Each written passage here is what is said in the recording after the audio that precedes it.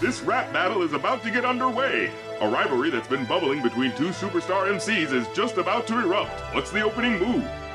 Oh, and out of the gate, Drake used Substitute by waving the AI puppets of West Coast legends dead and alive to taunt the opposing rapper. Oh, ladies and gentlemen, this is absolutely astonishing. Kendrick, we need ya, the West Coast savior. Ain't great in your name and some hip hop history. That's you. What the fuck you really got to do? We passed you the torch at the House of Blues. Oh, and he tried to foresee a future diss by trying to undermine the validity of rumors that he picks up girls that are a little too young for him. Call him a bitch for me. Talk about him liking young girls as a kid for me. Heard it on the Budden podcast, it's gotta be true. But it's not very effective. Very first time I shot me a Drake, the homie had told me to aim it this way. I didn't point down enough. Today I show you I learned from those mistakes. On God, I'm ready to double the wage. I'd rather do that than let a Canadian nickel make Pac turn in his grave. And Kendrick bats the substitutes away with his hyper voice. The next one is really about to bring out the coward in you. But now we gotta wait a fucking week, cause Taylor Swift is your new top. And if you about to drop, she gotta approve. Now Drake kicks up a sandstorm of rumors that Kendrick is afraid to drop a track when Taylor Swift's album drops, taunting him about his name not being big enough to compete with her streams. This girl really about to make you act like you not in a feud. It's doing minimal damage, but it serves its purpose of getting the crowd to leer at Kendrick for the response, putting time against him in a live battle. How are you not in the booth? It feel like you kinda removed. You trying to let this shit die down. Nah, nah, nah. Not this time, nigga. You following through. I guess you need another week to figure out how to improve. What the fuck is taking so long? We waiting on you. Oh Oh, no, but he overplayed his hand and accidentally confessed that it's Drake who's worried about streaming sales. Yeah, shout out to Taylor Swift. Biggest gangster in the music game right now.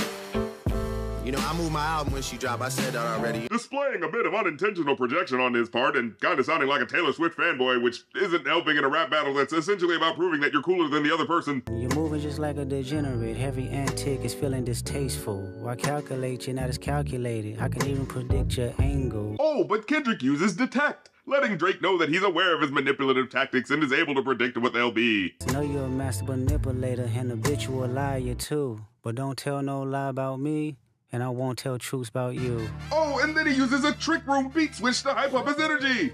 It's not nobody can tell me. I don't want to talk on no celly.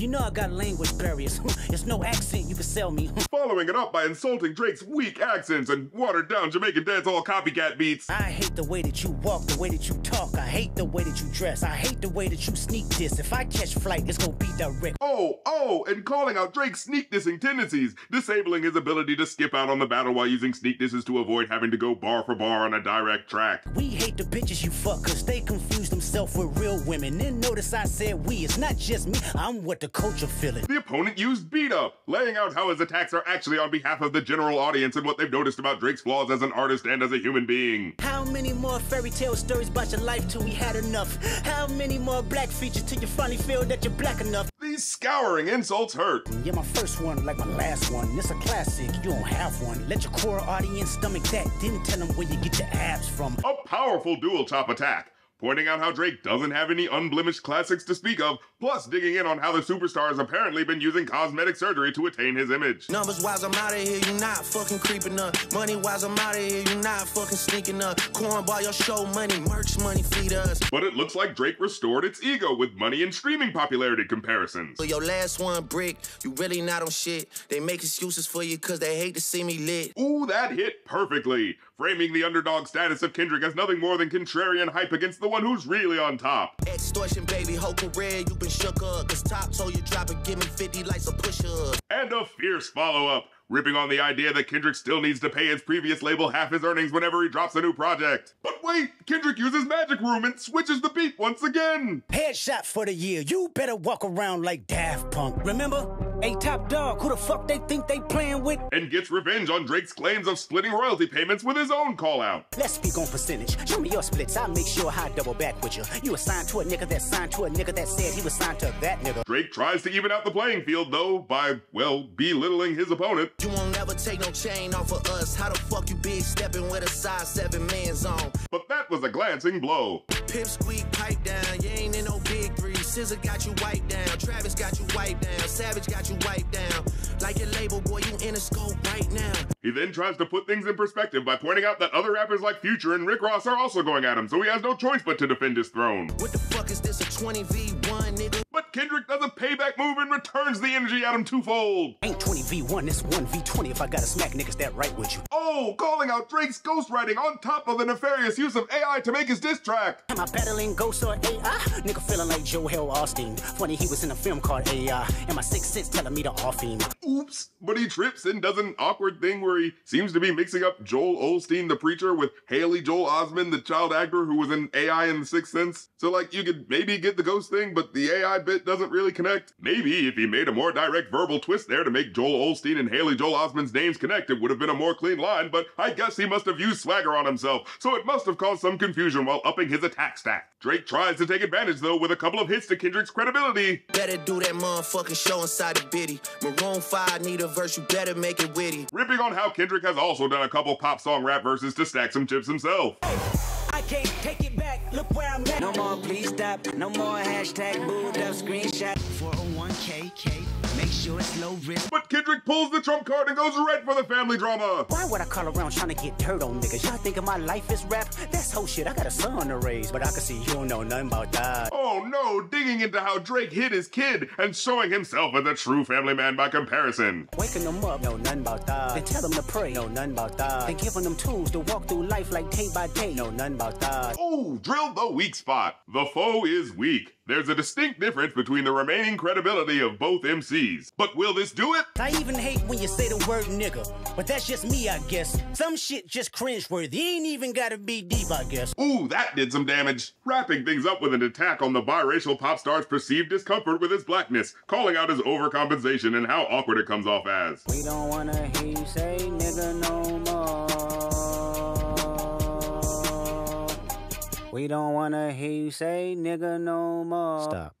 That was brutal! Whoever that's fucking with them, fuck you niggas and fuck the industry too. If you take it there, I'm taking it further. Psst, that's something you don't wanna do. He then ends with a Future Sight attack in case the opposing trainer wants further smoke. And when we take a look at the scores, Drake's diss lands 11 out of 65 lines, equating to a 17% hit rate. But with Kendrick's 2 in 1 response hitting 17 lines out of 50 with a rate of 34%, his opponent goes down. And there goes the battle. Well, folks, it was an intense battle, but oh, it, it, looks like Drake tried to recover for the next battle by dropping his Family Matters berry track. Also, Bobby shit, I wanna know what Whitney needs. But before it could fully regain HP, oh no, Kendrick saw that he took the bait when he made it personal. He snatched the recovery with his 616 in LA track, revealing that Drake has limited loyalty from his crew who he's been getting his secrets from. Are you finally ready to play? Have you ever, let's see, have you ever thought that OVO is working for me? Fake bully, I hate bullies. You must be a terrible person. Everyone inside your team is whispering that you deserve it. Oh, oh, and then the Future Sight attack dropped in the form of the Meet the Grahams track, where he reveals that Drake is hiding yet another child. Oh no! Dear baby girl, I'm sorry that your father not active inside your world. And Drake is down for good. How can he recover from that? Uh, ladies and gentlemen, I, I mean, the video game has to say he fainted, but I, I don't know if the charred remains of the opponent's ego would agree. What else need be said? Oh, my sweet lord, is Kendrick doing a fucking Z move dance? Jumping Jesus and a pogo stick, ladies and gentlemen, Kendrick has just dropped a pulverizing pancake of a move with the final track, Not Like Us, where he straight up calls out Drake as a culture vulturing pedo bite who keeps abuses around him, and the man had receipts. Why you trolling like a bitch? Ain't you tired? Trying to strike a chord, and it's probably A minor. You caught Future when you didn't see the club. Like, what? 21, get your false street cred. Thug make you feel like you a slime in your head. Like, what? 2 Chainz say you good, but he lied. You run to Atlanta when you need a few dollars. No, you're not a colleague, you a fucking colonizer. Oh, the humanity! Folks, uh, Kendrick just made this man see infinity, and I, I don't know if there's any coming back. Good Lord Almighty. Well, I guess that's all there is to see here. Uh, we're gonna have to, like, clean up the arena of the shadow of ashes where his opponents once stood, but folks, let, us get the fuck up out of here before someone else pisses Kendrick off. But if you like the video, leave a like if you like because it helps, comment if you have something to say because it helps even more, and hit the subscribe and the bell because that's what helps the most. And if you want to support the show, of course, that's ko-fi.com slash rapcritic for one-time donations and patreon.com slash rapcritic for ongoing donations, where you can see episodes early and join in on the RC Discord to chat with me and fellow fans. So until next time, I'm the Rap Critic, saying, hey, all beef should be squashed, but if you're gonna come at someone, you better make sure your ass comes correct.